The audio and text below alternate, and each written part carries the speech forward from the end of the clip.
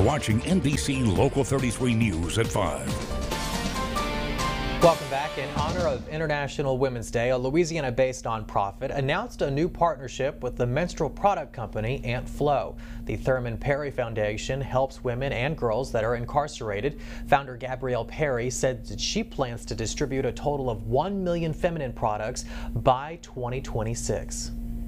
These women are navigating systems that are designed to work against them and giving them the resources that they need is not only charitable, it's not just a generous thing to do, it is public safety.